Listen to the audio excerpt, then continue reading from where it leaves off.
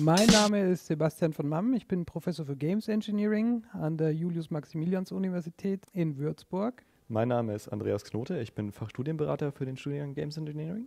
Und wir wollen euch heute ein bisschen darüber informieren, was das Studium Games Engineering zu bieten hat, was die Inhalte sind, wie es abläuft und hoffentlich auch den Funken springen lassen, was so faszinierend daran ist. Genau, steigen wir einfach mal ins Thema ein. Andreas Games. In unserem Fall geht es fast immer um digitale Spiele. Das heißt um Software, die Benutzereingaben effizient, schnell umsetzen kann in bewegte Bilder und Simulationen. Spiele sind quasi interaktive Systeme, ja, interaktive Software-Systeme, die hohen Ansprüchen gerecht werden müssen. Sie müssen effizient also sehr schnell Daten verarbeiten. Der Benutzer will nicht drauf, drauf warten, der Spieler will nicht darauf warten, dass, dass die Eingabe vom Gamepad oder von sonstigen Device äh, lange auf sich warten lässt.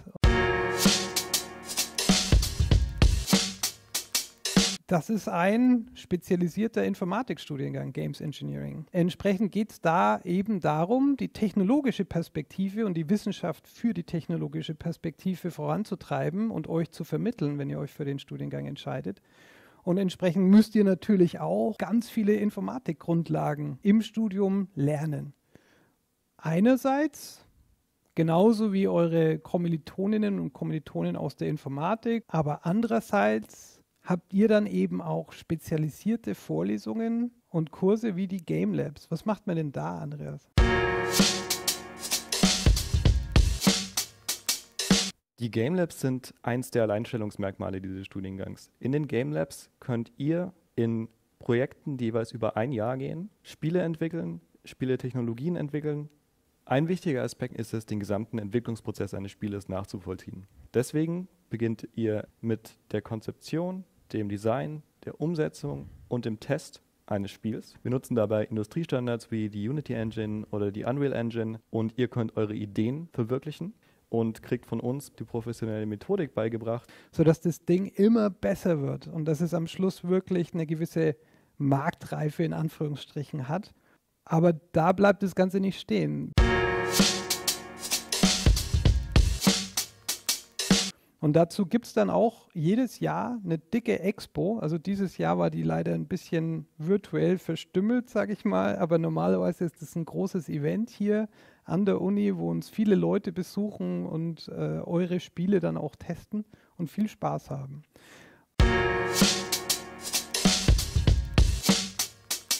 Man taucht dann immer tiefer in diese Technologieperspektive ein und lernt, Technologien wirklich zu entwickeln, um Spieleentwicklung, Spieldesign einfacher zu machen. Im GameLab 2 zum Beispiel, da baut man individuelle Software oder Plugins für etablierte Game Engines. Was haben wir noch Tolles gehabt in letzter also, Zeit? Wir hatten beeindruckende Projekte von der automatischen Generierung von Häusern, die ihr dann in eure Spielewelt platzieren könnt, über die natürliche, realistische Verbindung von verschiedenen Vegetationszonen zu optimierten Navigationsalgorithmen, mit denen viele, viele Agenten. Spricht da auch von Schwärmen oder Schwarmsystemen, wenn es ganz viele sind? Sichere Netzwerk Kommunikation. Also es ist eine Unmenge von Beispielen, die eure Vorgänger und Vorgängerinnen im Studiengang generiert haben. Und es ist unglaublich, was da an Schaffenskraft umgesetzt wird.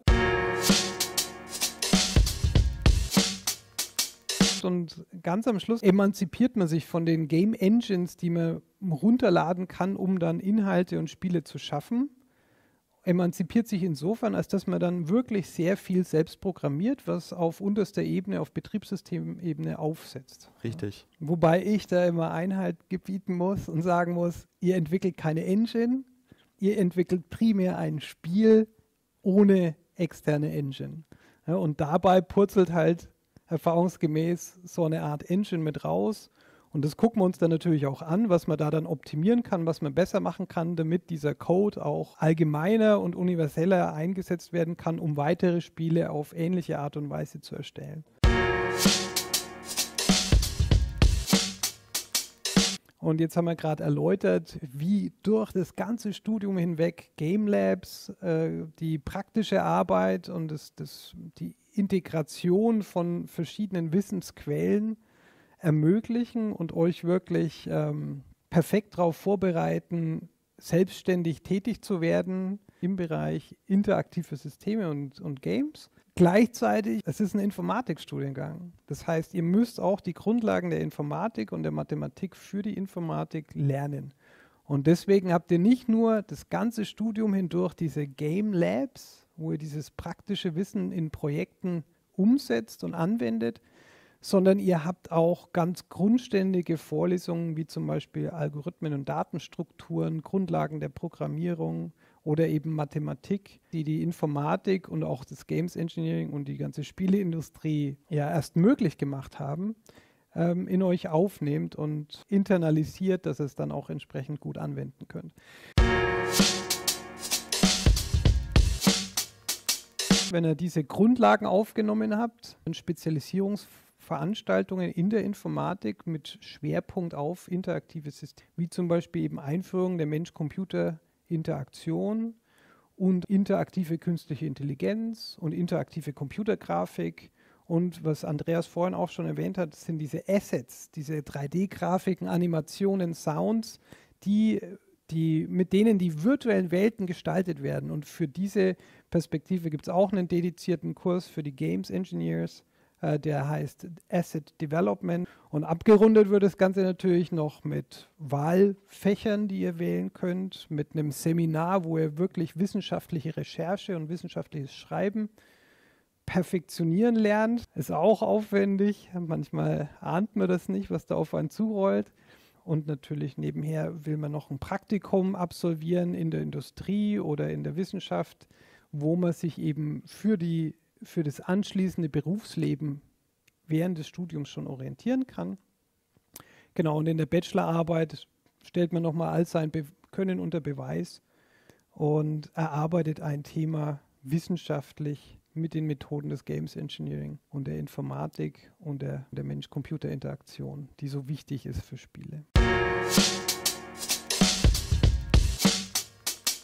Weiterführende Kurse aus Game Design und Games Engineering, die wir teilweise mit der Fachhochschule für angewandte Wissenschaften hier Würzburg-Schweinfurt, auch mit dem CCTB, dem Center for Computational and Theoretical Biology zusammen. Projekte von Teams von Games Engineers, Informatikern und auf der anderen Seite eben Biologinnen und Biologen ähm, angepackt ja. wurden und ganz, ganz erstaunliche Resultate hervorgebracht haben für als Spiele, aber auch als Simulationen. Ja. Das hat sehr schön die Bandbreite gezeigt, mit denen Studierende des Games Engineering ihre Fähigkeiten einsetzen können. Wir hatten von Spielen, die wissenschaftliche Inhalte verbreiten, bis hin zu handfesten Simulationen biologischer Systeme, sicherheitsrelevanten Trainingssimulationen in Virtual Reality, ähm, das gesamte Spektrum der interaktiven Systeme abgedeckt. Nach dem Studium muss man natürlich mit dem Bachelor nicht unmittelbar in die Industrie einsteigen, kann man aber natürlich. Also da passiert ja jede Menge in Deutschland. Förderprogramme schießen da ja aus dem Boden und äh, bereichern die Gaming-Szene. Aber es gibt eben darüber hinaus auch große Industriezweige, die wirklich dieses Games Engineering Wissen haben wollen und unsere Absolventen haben wollen. Und das ist in allen Bereichen der Informatik sowieso, ja. Architektur, der, das Bauwesen. Dann haben wir natürlich aber auch Industrien wie zum Beispiel Automotive, die darauf angewiesen sind, dass virtuelle Welten sehr exakt repliziert werden, sodass künstliche Intelligenzen dort lernen können und nicht irgendwelche Anfänger Roboterautos durch die Gegend fahren und, und das grundlegendste Verhalten irgendwie auf echten Straßen lernen müssen. Also da ist viel Bedarf da. Und andererseits gibt es natürlich auch die Möglichkeit, auf den Bachelorabschluss einen Masterabschluss drauf zu satteln. Und wir an der Universität hier bieten auch entsprechende Masterstudiengänge an. Man kann beispielsweise ein Informatik-Masterstudium anschließen, kann man einen entsprechenden Schwerpunkt Games Engineering wählen, ähm, profilieren und fokussieren. Dann kann man auch aus der Informatik rausgehen, in die Psychologie reingehen, indem man beispielsweise Human-Computer Interaction Master mhm. studiert, mhm. gerade wenn diese menschliche Perspektive wie der Mensch mit solchen Systemen interagiert, was für einen Effekt es auf den Menschen hat und so weiter, im Vordergrund stehen natürlich kann man diese akademische Schiene auch noch weiter treiben. Und man kann dann natürlich auch im Games Engineering promovieren, wie es der Andreas zum Beispiel gerade macht.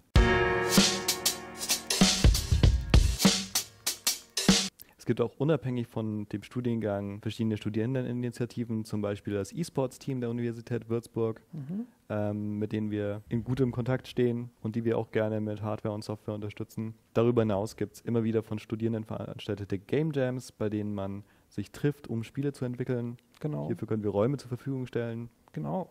Wir sind auch mit dabei, wenn es um die Indie Outpost Würzburg Events geht, wo sich die äh, Independence-Szene im, im Game Development und Game Design aus der Würzburger oder Mainfranken-Region trifft. Und damit schließen wir ab, oder? Und schaut euch einfach noch ein paar coole Trailer an, die wir auf der Website geparkt haben. Vielleicht spielen wir jetzt gleich im Anschluss noch ein paar ein. Wer weiß das schon?